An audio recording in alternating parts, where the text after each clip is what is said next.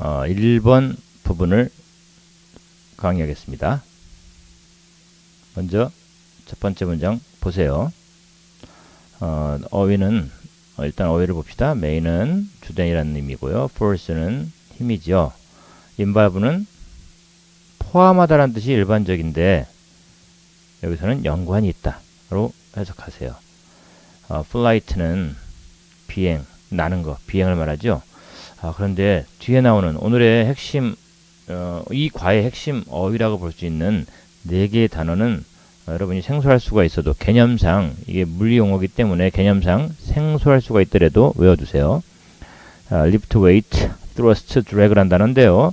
어, 우리가 보통 lift는 뭐 올리는 거, weight는 무게나 뭐 음, 무게가 나가다 뭐 이런 의미 등등으로 일반적으로 쓰는데요. 여기서는 어, 각자의 물리 용어가 있습니다. 리프트는 양력이라고 그러고요. 약력, 양, 양, 부양, 공중부양 아세요? 떠오르는 거, 떠오르는 거. 그래서 양력, 떠올리는 힘이죠. 중력, 끌어당기는 힘이고요. 추력, 미는 힘이죠. 드래그, 끄는 힘이고, 어, 끄는 마찰, 견디는 힘, 항력이라고 합니다. 자, 그러면 이 부분을 먼저 보세요. 네 개의 주된 힘이 있다. 쉽죠? involved in flight.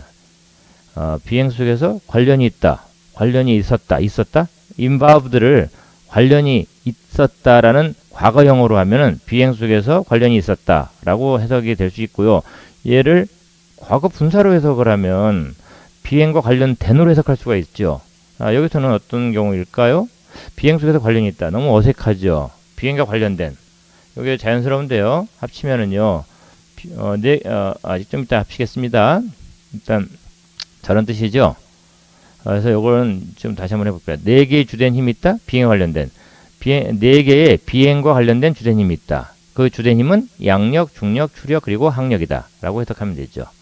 아, 다음 문장입니다. air, air pressure, air pressure, 기압, 공기고요. 이건 압력이니까 기압이라고 하면 되죠. 아, 하나하나 봅시다. lift, 양력이라고 그랬습니다.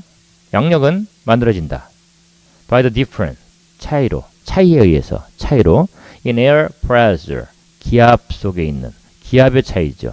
by the difference in air pressure, 기압의 차이로. 그래서 합치면 기압의 차이로 양력은 만들어진다. 또는 뭐 양력은 기압의 차이로 만들어진다 하면 돼요. 어, 이 부분은 between A and B의 구조죠. between A and B 하면 A와 B 사이에 라고 하면 됩니다. A는 이 부분이 A죠. 그런데 A의 구조를 봅시다. 플로잉 이하가 앞에 있는 the air를 꾸며줍니다. 그래서 비행기의 날개 위로 흐르는 공기라고 해석이 되죠. B분을 봅시다. 마찬가지, 마찬가지 구조죠. 요 flowing under them 요 부분이 the air를 꾸며줘서 어, them은 wings를 받는 거죠. 날개 아래로 흐르는 공기. 그래서 비행기 날개 위로 흐르는 공기와 날개 아래로 흐르는 공기 사이에 이렇게 연결돼서 어, 사이로 어, 기압 차이로 만들어진다까지 연결하면 되게 되죠. 어, 다음 문장입니다. oppose 반대하다 weight 아까 weight 뭐라고 그랬죠? 중력 네, force는 힘이겠고요. gravity는요 중력입니다. 이게 말 그대로 중력이죠. constantly 끊임없이 끊임없이 지속적으로 뭐 가능하죠. 하나하나 살펴봅시다. lift is opposed 양력은 반대된다. 뭐에 의해? 중력에 의해. 합치면은요. 양력은 중복 중력에 의해 반대된다.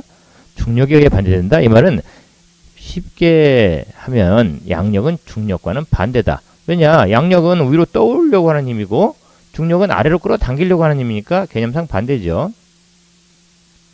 다음 부분입니다. 아, 여기서 뭐 설명할 것 같아요? 그렇죠. 컴마 다음에 ing 아, 아니죠. 컴마 다음에 위치가 오고 그 뒤에 동사가 이어지는 경우 컴마 다음에 위치가 오고 동사가 이어지는 경우죠.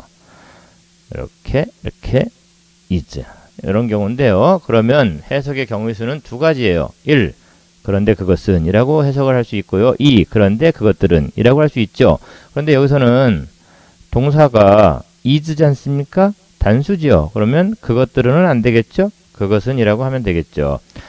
그래서 그런데, 그것은 중력의 힘이다. 뭐 이렇게 되고요. 아, 여기서 잠깐 봐줄 거는 또 명사 다음에 대시 나왔습니다. 명사 다음에 대시 나오면 이 대를 그것이라고 해석을 할 수가 없어요. 반드시 뒤에 절이 나옵니다.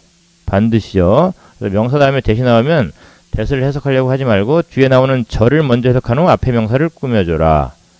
그래서 지속적으로 당겨요. 비행기를 down 아래로 당기는 중력, 중력의 힘. 뭐 이렇게 해석이 되겠죠. 그래서 양력은 이거 이거다 라는 해석이 나옵니다. 리프트 뭐였죠? 양력이었죠. weight는요? 중력이고요. 양력과 중력은 서로 반대죠. 이 부분을 보면요. 양력의 양이 더 크면 뭐 쉽게 해석이 될 것 같고요. 뭐보다? 뭐보다? 중력의 양보다 라고 하면 되죠.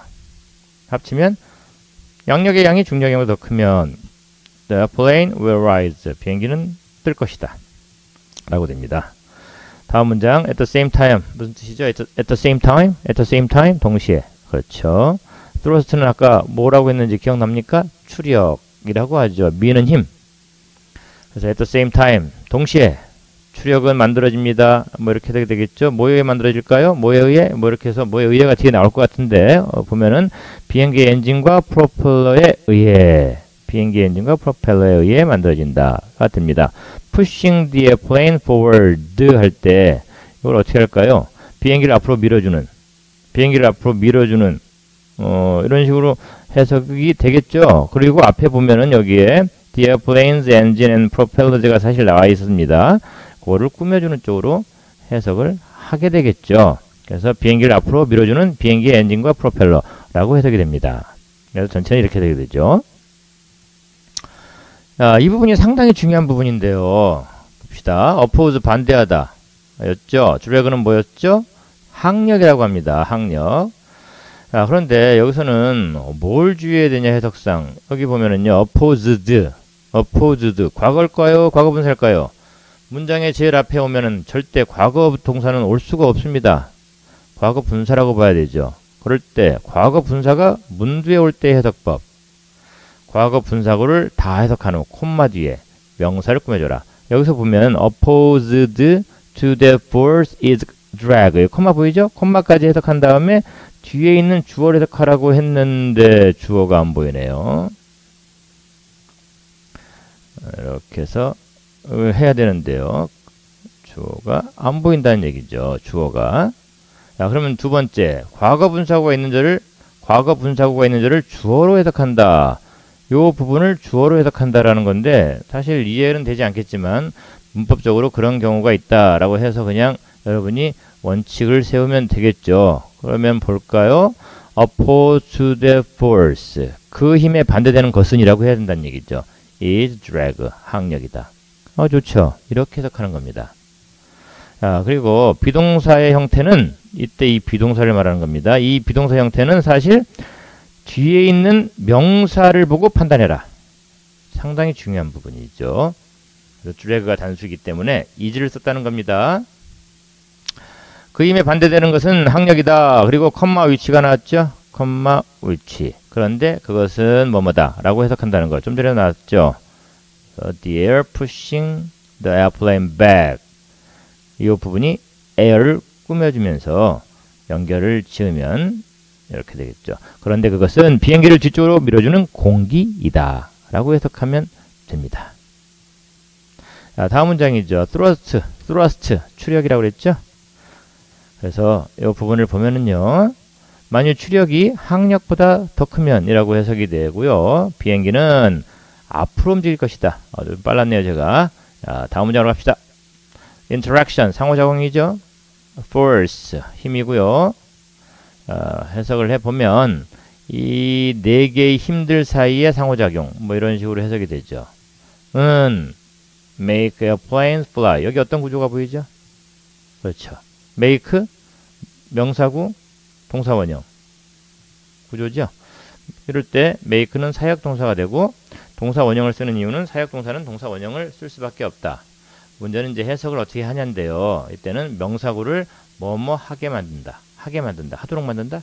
뭐 이렇게 해석이 됩니다. 그래서 비행기를 날게 만든다. 라고 해석이 됩니다. 다음 문장이요. 비행기는 설계된다. 디자인 설계하다죠.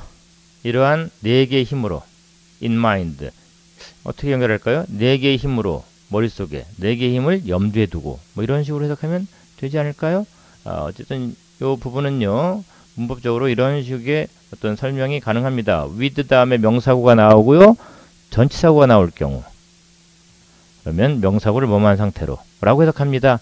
그래서 이러한 네 개의 힘을 염두에 둔 채로 라고 해석을 한다는 거죠. 이걸 몰라도 아까 처음에 기억나세요? 그냥 어, 우리말을 스럽게 하다 보면 이렇게 또 됩니다. 이렇게 전체자가 해석이 됩니다. 이상으로 첫 번째 부분 마치겠습니다.